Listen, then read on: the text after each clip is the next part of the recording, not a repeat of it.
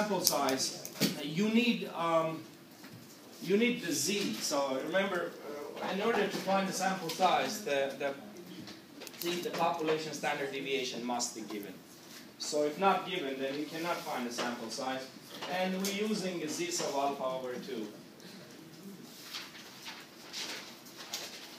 So the formula is really becomes E equals to uh, not T sub alpha over 2. We're going to be having a Z sub alpha over 2 sigma over square root of n.